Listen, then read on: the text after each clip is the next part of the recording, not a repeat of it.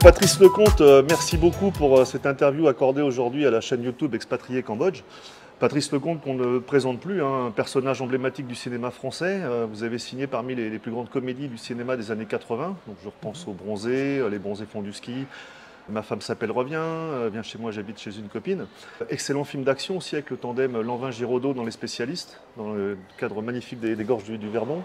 Des films plus dramatiques aussi sur Monsieur Hir, Tandem. Vous êtes récompensé euh, par les Césars en 1997 pour le film Ridicule. Vous obtenez 4 Césars, celui du meilleur réalisateur, du meilleur film, meilleur décor, meilleur costume.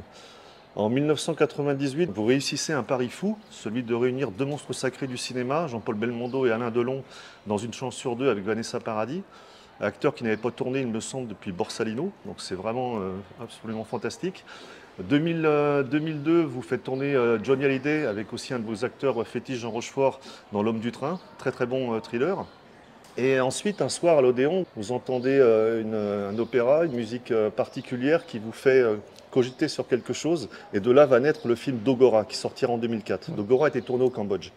Alors, euh, vous pouvez me parler de cette alchimie euh? Oui, oui. Alors c'est- très simple le- l'histoire. Enfin, elle est, oui, elle est simple. Euh, je, vais voir un spectacle à l'Odéon qui s'appelait Léon Séléna. Il y avait une musique de scène euh, dirigée par, euh, le musicien lui-même. Donc c'était, enfin, ça un peu. Bref. Et la musique m'a plu énormément. Et donc je, vais dans les coulisses, je dis où est la loge du musicien, comment il s'appelle, etc. Et je tombe nez à nez avec Étienne Perruchon qui sortait de sa loge, qui était encore en caleçon. Je dis oh pardon, je vous dérange. Je, lui dis voilà qui je suis, mais oui je sais qui vous êtes. J'ai adoré votre travail. On va boire un verre, on sympathise. Et il me dit je vais vous envoyer d'autres choses que j'ai faites. Ah volontiers, moi j'ai adoré ce que j'ai entendu ce soir. Donc euh, oui oui, envoyez-moi plein de trucs. Et il m'a envoyé plein de trucs, euh, des, des trucs euh, qui étaient vraiment bien, hein, ça c'est pas la question. Et puis il y avait parmi ces trucs, c'est-à-dire parmi ces compositions, il y avait un- une suite pour euh, un chœur de 80 enfants et un orchestre symphonique, euh, une suite qui s'appelait Dogora, qu'il avait composée, je ne sais plus très bien à quelle occasion, pour un centenaire de la Savoie, enfin je sais pourquoi. Et euh, donc c'était une suite musicale qui, durait euh, 40 minutes à peu près, ou, oui 40 minutes, et qui était parlée dans une langue qu'il avait inventée. Alors il disait souvent, euh, bon il y a le trompe-l'œil euh, en peinture, et moi j'ai fait du trompe-l'oreille. Et, euh, et c'est vrai que c'est pas une langue, ça fait un peu pays de l'Est, mais pas plus que ça. euh, c'est une langue très très bizarre qui n'a aucune signification. Et c'est ce que je trouvais très bien parce qu'au lieu de dire oh là là, tu m'as manqué, tu m'as manqué, dont dont on se fout éperdument, là au moins il y avait, des mots, des sons qui s'accordaient d'une manière. Et alors quand il m'a envoyé ça, j'ai écouté 25 fois de suite avec euh, le- les, mêmes frissons, la même émotion. je l'appelle, il, habitait à, ce moment-là, il habitait à côté de, à côté d'Annecy, à Menton. Je l'appelle et je lui dis, euh, on se vous voyait encore, et je lui dis, écoutez, ce que vous m'avez envoyé, j'ai entendu, mais alors euh, Dogora, donc je lui parle de sa musique qui s'appelait donc Dogora, de cette musique-là, et je lui en parle avec des trémolos dans la voix et avec un enthousiasme fou. Et je, moi, je suis pas musicien, mais je sais ce que j'aime, je sais ce que j'aime pas, puis j'essaye de communiquer avec mes mots à moi, et ça marche d'habitude. Et, euh, et il me dit, écoutez, vous me parlez tellement bien de ma musique que je vous la donne. Elle est à vous. Euh, J'espère qu'un jour, elle vous inspirera des, images. Alors donc, j'étais dépositaire de ce cadeau. Je ne cessais d'y penser je me disais, mais qu'est-ce que je peux raconter sur cette musique? Qu'est-ce que je peux faire? Je ne vais pas faire un film de fiction. Je ne savais pas. Donc, je, je tâtonnais, j'hésitais, je ne savais pas. Et puis, ça, c'était il y a 22 ans. La rencontre avec Perruchon, c'était il y a 23 ans. Il y a 22 ans, je fais un premier voyage au Cambodge parce que mon frère euh, travaillait là. Euh, à ce moment-là, euh, c'était un spécialiste de l'EVA, l'arbre à caoutchouc, D'accord et euh, à la Tex plus exactement. Et, euh, et puis il m'a dit, je suis là depuis 5 ans, je rentrais bientôt, viens, ce pays est formidable. Donc je suis allé avec ma femme, on a été rendre visite à mon frère Antoine. Et puis je circulais et j'étais fasciné par toutes les images, assailli d'images euh, diverses, insensées, tristes, joyeuses, euh, pff, tout ça quoi. Et je ne, je ne cessais de regarder autour de moi. Et puis un jour de notre séjour, à un carrefour de deux avenues, dans cette espèce d'embrouillamini de moto, de trucs, enfin dans ce, grand bordel euh, routier. La musique de Perruchon, et ne me demandez pas pourquoi car je n'en sais rien, la musique de Perruchon est remontée à la surface. Et je me suis dit, voilà, c'est ça le film que je vais faire. Je vais faire un film ici au Cambodge, dans ce pays qui me fascine, qui me bouleverse, qui m'enthousiasme, ce pays unique. Et je vais faire un film où il n'y aura que des images, des choses que, je vois, des choses que, que je sens, et la musique de Perruchon. Et j'ai terminé tout le, séjour en regardant encore plus autour de moi et en imaginant euh, quel était le film que j'avais envie de faire, en prenant des notes sur euh, là il y a un carouage, c'est pas mal, euh, il est bien parce que les femmes sont. Enfin, je prenais quelques notes, mais pas grand chose. Je suis rentré à Paris, on est rentré à Paris, j'ai dit à Perruchon, écoute, avec ta musique, je vais faire un film au Cambodge. Il est tombé de sa chaise parce que sa musique n'a rien de cambodgien, évidemment. Il m'a dit écoute, je te fais confiance, fonce. Je vais trouver des producteurs qui étaient les producteurs qui avaient produit Ridicule. Donc on se connaissait bien et eux connaissent le Cambodge parce qu'ils ils étaient impliqués dans l'humanitaire avec euh, l'ONG, PSE. Enfin bon, ils, savaient de quoi je leur parlais et je leur ai dit mon projet il tenait en une demi-phrase. C'est-à-dire que j'aurais fait écouter la musique d'Étienne. Et puis j'aurais dit, moi, je, puisque eux connaissaient le Cambodge, ils, entrevoyaient des images qui pouvaient me trotter en tête. Et euh, j'ai dit, d'accord, on y va. Et on a fait le film comme ça pour, euh, très très peu d'argent, parce que l'équipe, c'était trois personnes. C'est moi, surtout mes films, je suis cadreur. Donc euh, surtout sur un film comme ça, c'est moi qui filmais. Il y avait un assistant opérateur. oui, on était quatre, plus un régisseur cambodgien qui nous, qui nous amenait euh, à manger à midi. Donc une toute petite équipe, voulue aussi peut-être pour garder ce côté intimiste aussi. Bah, c'est-à-dire qu'il euh, fallait, il fallait qu'on soit très souple, qu'il fallait que tout le monde tienne dans un, dans un van, euh, parce que s'il si, faut déjà garer trois camions, mais les camions auraient trimballé quoi? Et qui? On n'a pas besoin de maquilleuse, on n'a pas besoin, on n'a pas fait de son du tout. C'est après coup qu'un ingénieur du son est parti sur nos traces. J'avais donné tout le pour enregistrer des sons. Euh, lui, il a fait que du son et nous, on a fait que de l'image. Et après, on a mis tout ça ensemble. Et on pouvait pas. Euh, j'imaginais pas faire un film pareil avec, euh, avec une équipe de 12 personnes. C'était impensable. Parce que déjà, déjà quand, quand, quand, vous promenez, bon, mettons à Phnom Penh, mais n'importe où ailleurs, que, quand, quand, vous voyez un truc avec, avec vos yeux, vous êtes content parce que vous avez vu un truc formidable, rare, mais éphémère. Si déjà vous voulez le fixer avec un appareil photo, vous êtes photographe donc vous savez de quoi je parle, c'est déjà trop tard. Et à plus forte raison quand vous voulez filmer. Alors donc on, était, euh, moi j'étais euh, un, peu, euh, j'étais les premiers jours du tournage, j'étais un peu désemparé. Parce que habitué à faire des films de fiction sur lesquels on décide de tout, là, je faisais un film sur lequel je décidais de rien puisqu'il n'y a, a, rien de mis en scène, il n'y a rien de préparé. Euh, j'ai jamais dit à, quelqu'un tu vas de là à là quand je te fais signe. Enfin non, bien sûr que non, c'était pas le principe, c'était pas le projet. Et euh, donc on, on trouvait des endroits, bon, par exemple, je vous parlais euh, tout à l'heure du carouage que j'avais repéré. Le carouage, on sait où c'est, on sait où on peut se mettre, on en a la permission. et on tourne, là, on sait ce qu'on fait. On dirige rien mais on sait ce qui se passe et donc on sait ce qu'on fait. Mais sinon, il y a une foultitude d'images de, ce film pour lesquelles euh, je me suis dit, tiens, on va se mettre là. Je pense que c'est bien si on se met là. Puis on va attendre qu'il se passe quelque chose. Et puis, euh, et puis il y avait des jours, on rentrait à l'hôtel euh, en disant, ben, on n'a pas fait grand-chose aujourd'hui, on n'a rien. Quoi. Et puis de toute façon, il faut être, faut être patient, quoi, parce que c'est c'est pas pour, euh, dans l'attente de voir un envol de flamant rose, c'est pas ça. C'est pour euh, essayer de choper quelque chose d'inhabituel, un reflet.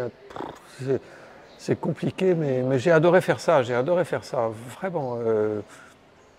et puis aussi parce que quand on se posait quelque part, aux alentours du marché central, par exemple, où, enfin, à l'époque, il y avait encore les, les tricycles à pédales pour transporter. Enfin bon. Et et autour, du marché russe ou du marché central, euh, on se posait quelque part. Puis à chaque fois où on se posait quelque part, même si on était plutôt discret, Il y avait surtout des enfants, bien sûr, mais il y avait beaucoup de badauds qui nous entouraient, qui regardaient, qui, nous empêchaient de filmer parce qu'on ne pouvait pas leur dire eh, pousse-toi, euh, on n'est pas chez nous, je ne vais pas dire à quiconque pousse-toi, laisse-nous travailler. Donc on disait rien, on restait debout, on fumait des clopes et on foutait rien. Et donc les, passants, les badauds et même les enfants, au bout d'un moment, ils en avaient marre de nous voir rien faire. Alors euh, ils partaient et nous, discrètement, on, allait faire. Euh, et combien de temps a pris le, tournage de Dogora au Cambodge?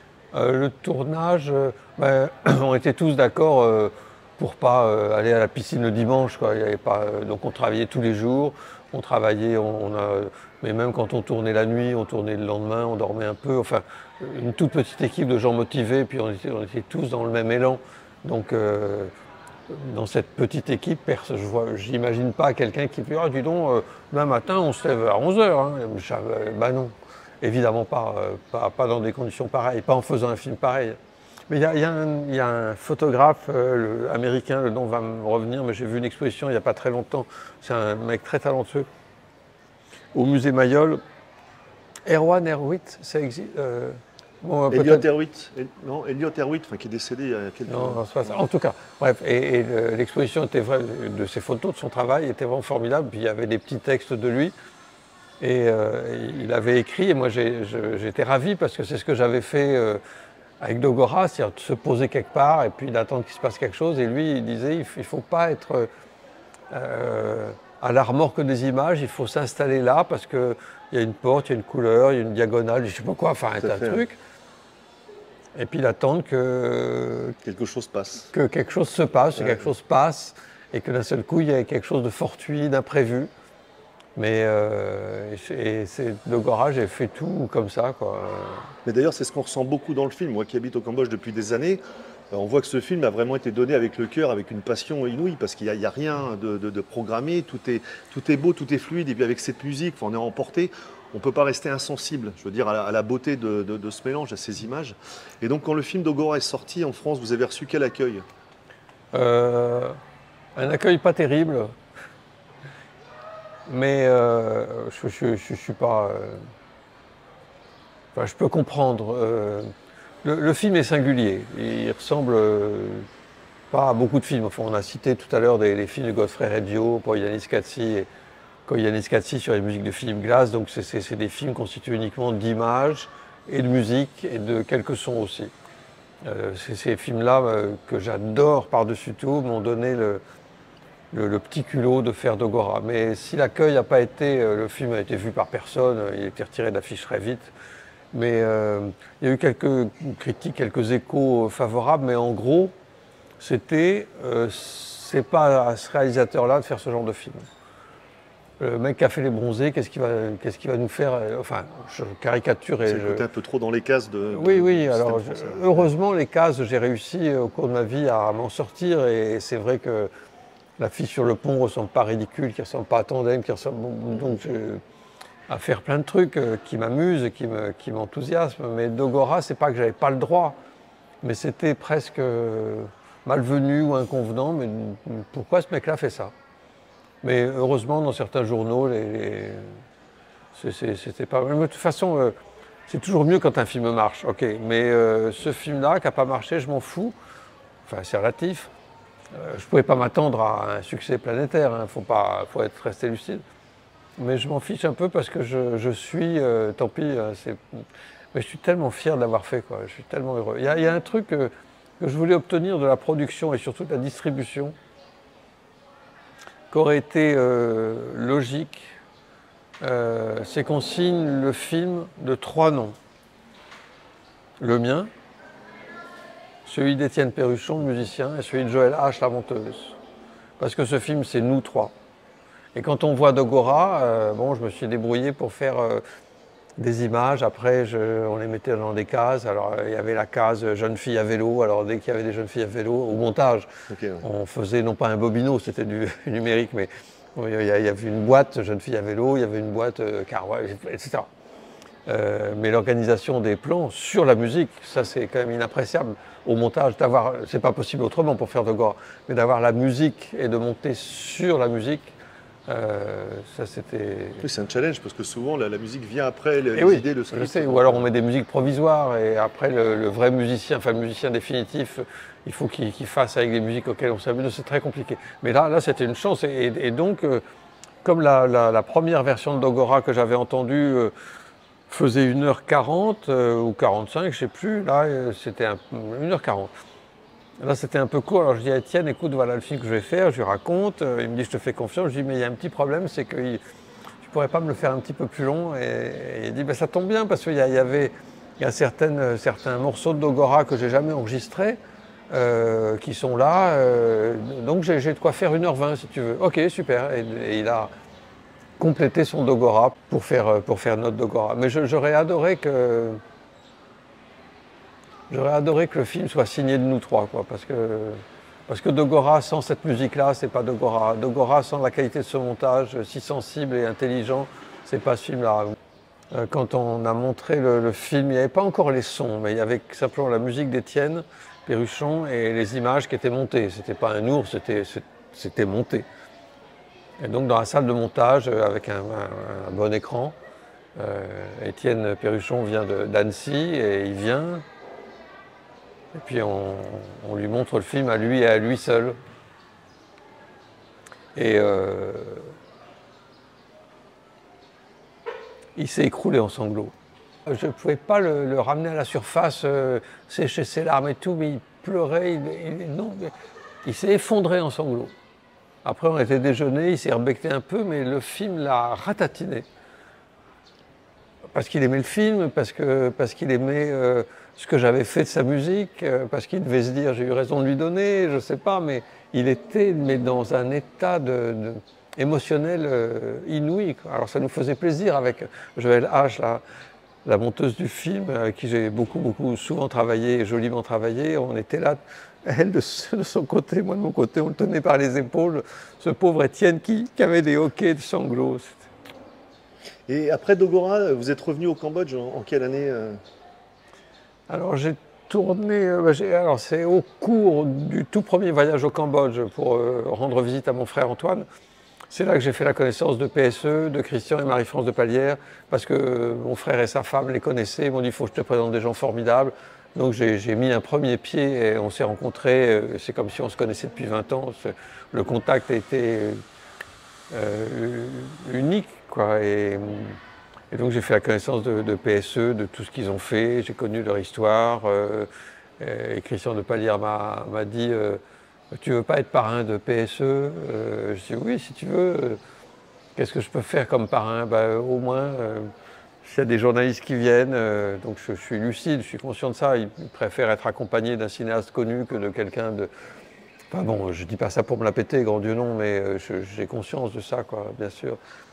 Donc, euh, et puis Christian de Palière, il était, il a toujours été très cinéphile, il a toujours adoré le cinéma, mais pour en faire lui-même du cinéma, il voyait beaucoup, beaucoup de films, et, donc il, s'est dit dans la formation professionnelle de PSE ce serait bien que je vais monter une école de cinéma. Je viens là pour faire des exercices, rencontrer les étudiants. Et hier matin, on a tourné un petit film. Hier après-midi, on a tourné un autre petit film. Euh, euh, là, on a vu les films parce qu'ils ont monté toute la nuit. Enfin, c'est extra. Donc vous êtes parrain depuis de nombreuses années, en fait. Euh, oui, oui. Christian a dû me demander de proposer d'être parrain. Il y a 15 bah, ou 17 ans, quoi. D'accord. Je ne sais pas exactement, je sais plus exactement. vous avez réitéré un appel durant le Covid, euh, donc vous avez fait un appel vidéo en expliquant aux gens de faire un don, puisqu'il y avait beaucoup de gens qui souffraient au Cambodge, notamment de, de, problèmes de faim. moi, j'étais au Cambodge durant le Covid, c'est vrai que ça a été très dur pour, euh, pour les plus démunis. En tant que parrain et cinéaste, j'ai enfin, lancé des appels, bien sûr. J'ai tourné des, des, courts-métrages euh, moi-même pour pour le, j'ai monté un spectacle à Paris pour les 15 ans de PSE. Enfin, je ne suis pas uniquement à, fumer des clopes dans mon bureau. Et, euh, non, non, je... Vous avez un côté très actif aussi sur. Euh, d'accord. Je pourrais l'être plus actif, mais, euh, mais tout ça, plus ça, plus ça, tout ça prend du temps. même le fait de, de, venir ici à Phnom Penh, ça se fait pas en soufflant dessus. moi, je suis pas encore et je pense que je serai jamais à la retraite, donc j'aurai toujours des projets, des trucs. Et, donc euh, à Phnom Penh, vous enseignez euh, donc à PSE, là où nous nous situons aujourd'hui, à des, à des, jeunes justement les techniques un peu du cinéma, du, script, etc. Ah bah c'est l'école de cinéma. Euh, Elle dure trois ans. Quand ils sortent d'ici, ils ne sont pas pour autant Orson Welles, ça, on n'a pas dit ça. Mais, mais au moins, tous les métiers de technique du cinéma, de la lumière, son, perche, maquillage, réalisation, réalisation moins, parce que c'est ici forme beaucoup à, tous les métiers techniques, enfin toute l'équipe. La réalisation, ça ne s'apprend pas de la même manière. Euh, la, lumière non plus, mais enfin, il y, a des bases techniques. À, la réalisation, c'est aussi l'imagination, eh la façon de vouloir concevoir une histoire. Oui, parce que par, exemple, c'est ce que je leur disais beaucoup ce matin euh, euh, au, chef opérateur, je leur disais il y a une question que je me pose tout le temps, moi, quand j'arrive sur un décor naturel ou quand je discute avec le décorateur ou le chef opérateur. La question que j'adore. Qu'est-ce qui s'est passé? La question que j'aime par-dessus tout, c'est euh, d'où vient la lumière? Euh, et, souvent, vous, voyez des, endroits où vous dites bon, alors, euh, si on ferme là, on va mettre du noir ici, comme ça la lumière viendra que là. Enfin, bon, enfin je vous apprends rien. Mais j'ai essayé de leur communiquer ça, c'est-à-dire de, réfléchir, euh, pas forcément en clignant des yeux, mais de réfléchir à, à Mais le son, c'est pareil, d'être sensible au son. Je ne dis pas ça parce qu'il y a eu des cris d'enfants, mais d'être sensible au son, de, de guetter le son rare qui, sur telle image, va donner. Enfin, c'est. C'est pas technique, quoi. c'est artistique aussi beaucoup. Et donc, est-ce qu'éventuellement un nouveau projet cinématographique pourrait voir le jour au Cambodge? Votre dernier film en 2022 avec Gérard Depardieu, Maigret, donc ça va faire déjà deux ans. Est-ce que vous avez quelque chose qui germe dans, dans Non, alors j'ai un, un euh, mon, prochain film, je le tourne en octobre. Euh, mais je suis toujours assez mystérieux avec les films que je vais tourner. Non, non, mais j'ai fait 30 films et il y en a 30 que j'ai pas fait. Il y, a, il y, a, 30 projets qui tombent à l'eau pour 30, un sur deux, ça va. À peu près, quoi. Parce que les films qui tombent à l'eau, c'est pas juste une idée comme ça, c'est des films très avancés, très aboutis. Donc euh, je préfère ne plus parler de ce que je vais faire parce que parfois ça ne se fait pas. Mais euh, non, non, ce, que je, ce que je suggérais ici à l'école, c'était de faire la chose suivante, c'était les étudiants de l'école de cinéma de PSE écrivent un scénario et tout ça. Donc une histoire cambodgienne, une histoire qui les concerne, avec, et qu'un réalisateur confirmé, moi ou quelqu'un d'autre hein, bien sûr, euh, viennent tourner euh, un court métrage. N'est pas obligé de faire un long métrage la première année. Viennent tourner un court métrage, mais pour que ces équipes-là, qui sont très performantes, très enthousiastes et vraiment sur le coup, que ces équipes-là soient sous la, direction, la houlette d'un réalisateur qui connaît son affaire. Pour dire, bon, alors attends, là, euh, la caméra, on va la mettre là, on va faire ceci, là, tu m'installeras le travail, enfin, bon, tout ça qui est quelqu'un qui soit déterminé, qui sache exactement ce que c'est que la mise en scène, le découpage, les grosseurs de plans, les trucs et machins. Et, moi, je ne désespère pas un jour ou l'autre. Il faut y passer un peu plus de temps que ce que j'ai passé là. Euh, j'ai passé quatre jours, c'est pas grand-chose.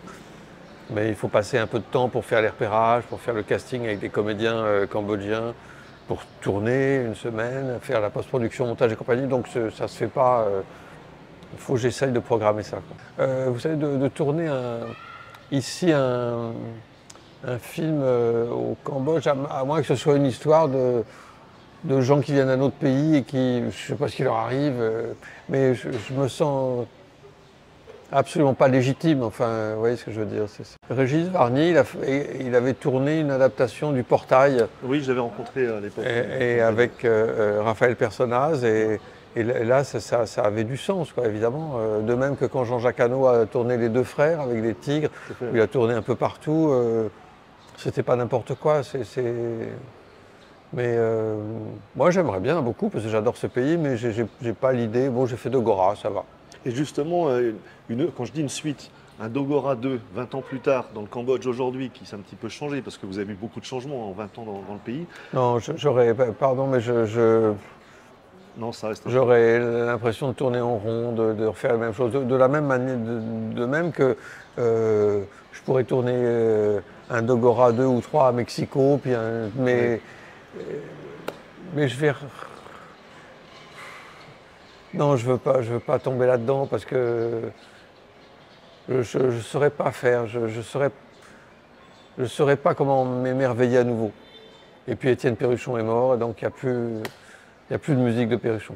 Vous avez déjà reprogrammé un prochain séjour euh, au Cambodge pour... euh, Non, euh, à chaque fois, ça se fait un peu au coup par coup. C'est-à-dire qu'il faudrait que je le reprogramme, que je programme un, nouveau séjour au Cambodge si, euh, si le projet de film éventuel avec l'école, euh, tel que je le décris, euh, se faisait. Bah, là, il faudrait que, que je le programme longtemps à l'avance pour avoir vraiment un mois complet, etc. Mais sinon, non, non, c'est- un peu au coup par coup quand ils me disent, bah, écoute, euh, voilà, il y a tel journaliste qui arrive, ce serait bien que tu l'accompagnes. euh, il y a trois journalistes qui viennent. donc je ne dis pas parce que ce serait odieux. Je dis pas que je fais tour opérateur, mais euh, et puis à ce moment-là, j'en profite, euh, je profite d'être là pour euh, rencontrer à nouveau les étudiants de l'école de cinéma, faire des exercices avec eux, enfin de, de rentabiliser, de- d'optimiser le séjour. Oui, donc ce qui est intéressant, c'est ça, c'est de transmettre après ça son savoir aux jeunes générations.